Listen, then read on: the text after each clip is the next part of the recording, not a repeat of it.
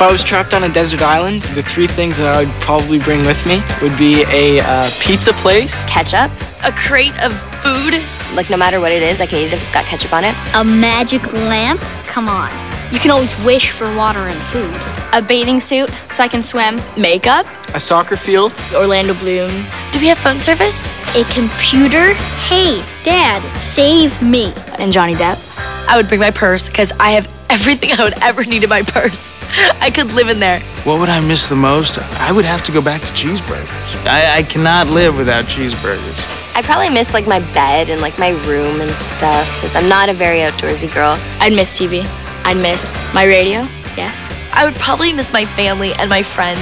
without them, I'd get pretty lonely. Kids like you express themselves every day on Disney Channel. By myself, I would probably go insane.